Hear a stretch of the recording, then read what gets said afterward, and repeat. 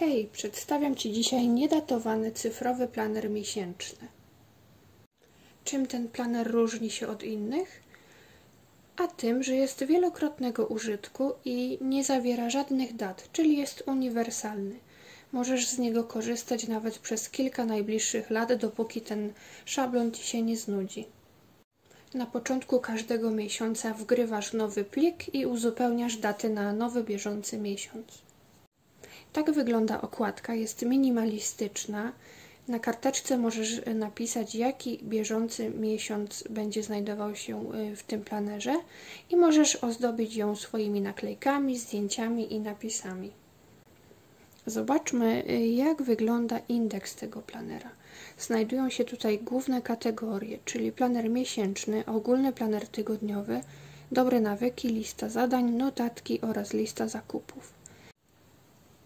Cztery z tych kategorii y, znajdziesz również na zakładkach po boku, które są dostępne z poziomu każdej strony planera. W tej części znajduje się 10 zakładek, które możesz zaaranżować samodzielnie, na przykład pisząc w pierwszym polu przepisy i po kliknięciu przenosicie do karty odpowiadającej tej zakładce. Tutaj również na belce możemy zapisać przepisy. Aby wrócić do indeksu klikamy ikonę domku. W tym planerze znajdziesz również sporo miejsca na własne notatki. Oznaczone są one takim ciemniejszym kolorem, tak jak tutaj. Możesz tutaj również dodać zdjęcia, własne cytaty lub dowolne notatki.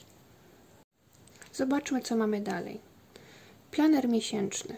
Od góry możesz napisać, jakiego miesiąca dotyczy i dopisać rok.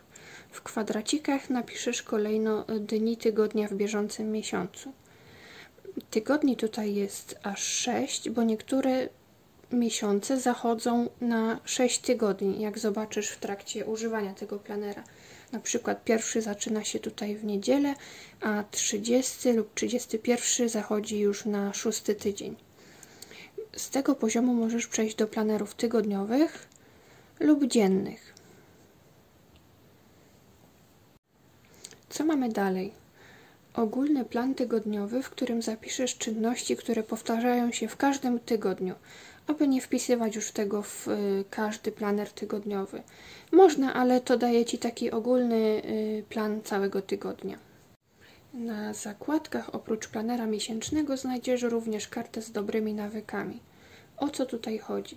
Chodzi o śledzenie postępów w wprowadzaniu y, nowych nawyków na przykład dzień bez słodyczy, czytanie książki 20 minut dziennie, trening, spacer, cokolwiek, co tylko chcesz tutaj wpisać.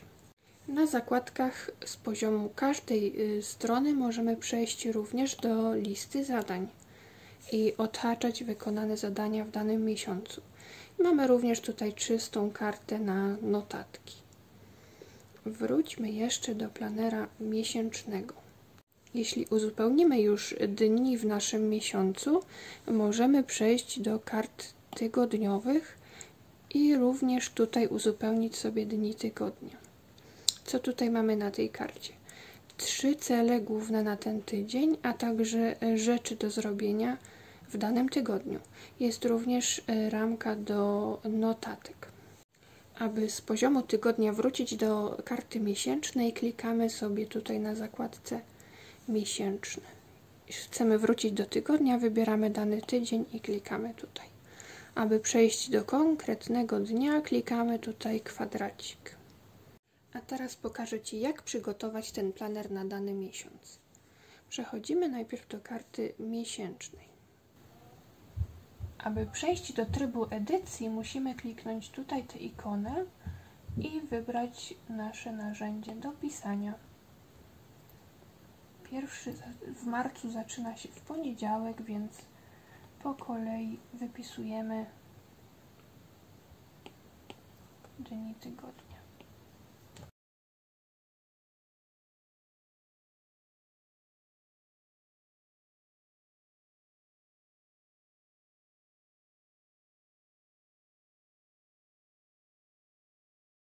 Kiedy mamy już uzupełnione dni tygodnia, przechodzimy z powrotem do trybu aktywnych zakładek.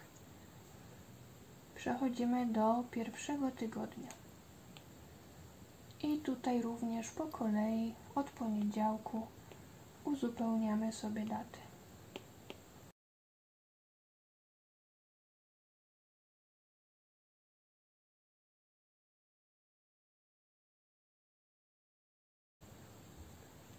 Kiedy dni tygodnia w tygodniowym planerze już są uzupełnione, wracamy do pierwszego dnia miesiąca, zmieniamy sobie tryb z powrotem na zakładki. Przechodzimy do pierwszego dnia, z powrotem tryb pisania i tutaj od pierwszego uzupełniamy sobie dni tygodnia na kartach codziennych.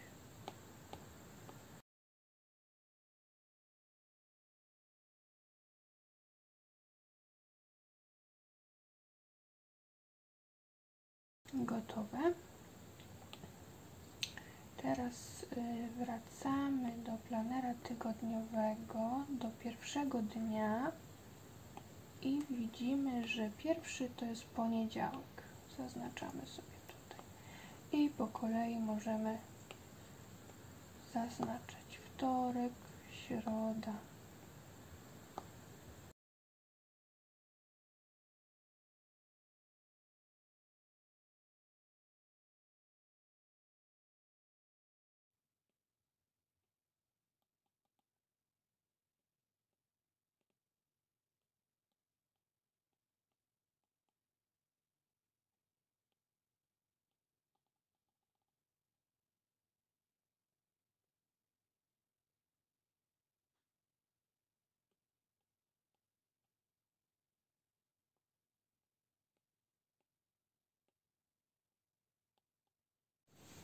Kiedy mamy już tak przygotowany planer, możemy sprawdzić, czy nasze zakładki zostały poprawnie rozpisane. Sobota 6. Jest marzec, sobota 6. Przechodzimy do planera tygodniowego, pokazuje nam się sobota 6. Możemy wrócić tutaj. Zobaczmy jeszcze 17. Środa 17 marzec. Czy przejdzie do planera tygodniowego? Jest środa 17. Teraz jeszcze pokażę Ci, jak może wyglądać Twój planer dzienny, bo ja sobie taki jeden uzupełniłam w tym planerze. I zobacz, jak to wygląda z y, naklejkami, które są również dostępne w moim sklepie. Jak działają naklejki. Y, wybieramy sobie ikonę dodawania obrazu.